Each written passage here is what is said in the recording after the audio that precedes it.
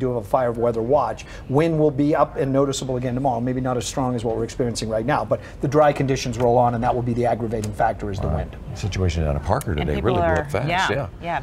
People are having their eyes on Easter too this Yep, weekend. sure. Yeah, it looks fantastic for Sunday, no question about it. A little chilly in the morning, but Sunday afternoon looks fantastic. So, and I'll have an updated seven-day forecast for you coming up at seven. Good deal. Yeah. Thanks, Dave. good. We're going to be back tonight for Channel 2 News at 7 o'clock. Thanks for joining us here at 4. We'll see you at 7.